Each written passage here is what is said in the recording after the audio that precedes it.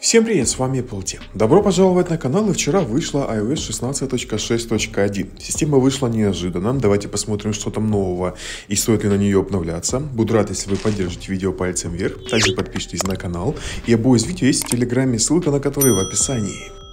Время идет и технологии также не стоят на месте. В интернете с каждым месяцем появляется все больше новых телефонов, умных и крутых девайсов, но стоят они немало. Чтобы регулярно получать все эти новые устройства, есть два варианта. Это устроиться на работу с большой зарплатой или зайти на сайт сюрприз-боксов Crazy Box и забрать любой интересующий гаджет за копейки.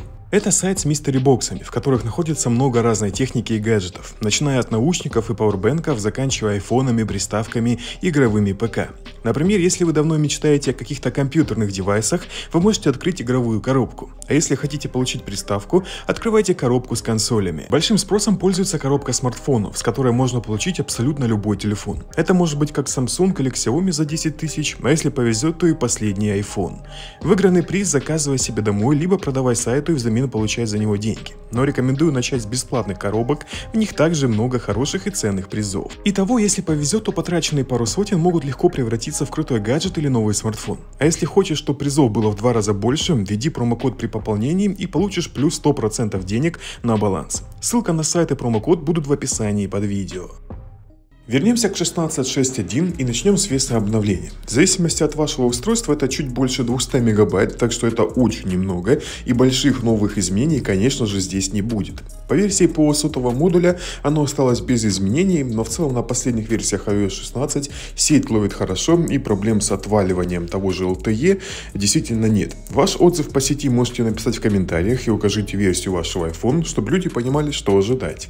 Теперь о том, какие новые функции появились в системе. Ну, те, кто давно подписан на мой канал, знают, что если обновление с двумя цифрами на конце, то есть в нашем случае 16, 6 и 1, то это говорит о том, что это заплатка для безопасности и больших изменений, и тем более новых функций, здесь точно ждать не стоит. Если посмотреть влоги обновления, то там действительно написано, что Apple пофиксила только безопасность системы и немного допилила оптимизацию. Дело в том, что на 16 iOS остаются достаточно много айфонов, это 8, 8 Plus и 10 iPhone уже не получают 17, и им придется быть на 16 iOS. Поэтому безопасность для этих устройств и оптимизация, она важна, потому что и восьмерок, и десяток, их продано очень много, и они на руках у огромного количества людей.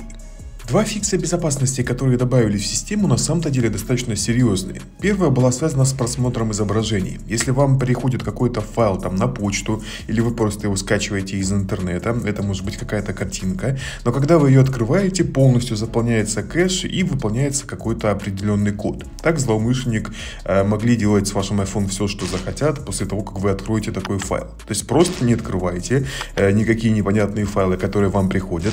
Но эту уязвимость пофиксили. И вторая уязвимость была связана с Apple Wallet, то есть вредоносное вложение, которое вы могли загрузить в кошелек, это могла быть какая-то карточка, она точно так же выполняла какой-то определенный код, и злоумышленник получал доступ к управлению устройством. Казалось бы, как такое на iPhone возможно, но вот, тем не менее, вот такие фиксы багов у нас появились. И очень круто, что уязвимость, которая связана с Apple Wallet, нашли в университете Торонто. То есть, представляете, не какие-то разработчики, а вот люди из университета, которые занимаются IT, нашли эту уязвимость, написали в Apple, и вот такая вот заплатка появилась. То есть интересная эта история, которая касается этих заплаток. В остальном никаких новых функций, никаких новых иконок, никаких новых переключателей не появилось. Я посмотрел все настройки, которые есть, и действительно нет ничего нового, что касалось бы, ну, хоть намека на какую-то новую фичу.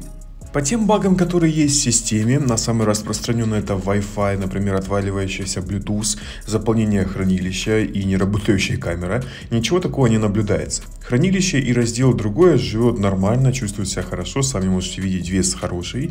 Также камера работает нормально, никакого треска нет, ну и в целом телефон работает достаточно стабильно. То есть в целом это в принципе та самая версия, которая должна была быть с самого релиза, стабильная и качественная, которая просто будет хорошо работать. Нагрева на устройстве нет, поэтому и аккумулятор чувствует себя нормально. Так что по производительности батареи это полный клон предыдущей версии iOS. Просто тут э, по сути одна заплатка, и вес обновления очень большой, поэтому ничего серьезно сломать или починить здесь нельзя. Получается система очень похожа на 16.6, а та версия iOS в целом была неплохой, судя по вашим комментариям. Аккумулятор тоже живет нормально, телефон не нагревается, даже на зарядке нагрева нет, и это хорошо влияет на батарею. Она не теряет свой процент э, во время использования, не теряет его быстро даже в играх, так что в целом на этой системе можно оставаться, если вы даже не хотите обновляться на iOS 17, то на этой версии можно остаться.